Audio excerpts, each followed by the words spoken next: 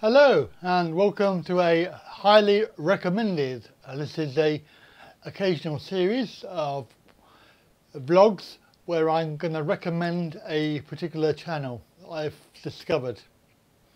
Now today I'm going to be talking about a Thailand vlogger.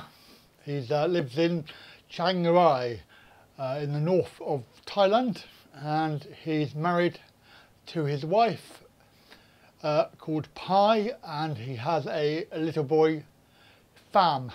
and he talks about uh, basically living in Thailand, building a house and as you can see from this video it's very very interesting. Morning everybody. Pie's dad got some uh, shrimp and these are all pregnant. They're all got lots of eggs, you can see all the green on them and they're going in our new pond. So I'm going to put them in now and uh, they'll breed.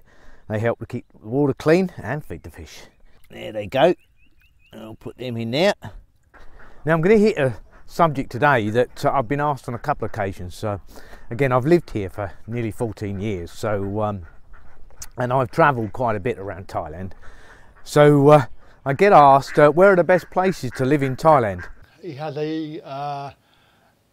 Vlogging style very similar to everybody else in Thailand, but I find that his delivery is very, very clear and the information that he's providing is very clear. So Graham Briar has been living in Thailand for around about 14 years now and uh, he obviously lives right in the north of the country between, they have a uh, home between the Mekong River and the border so the link is in below. Uh, go and pop over and have a look. And he currently has 588 uh, subscribers, so he has quite a lot of subscribers at the moment.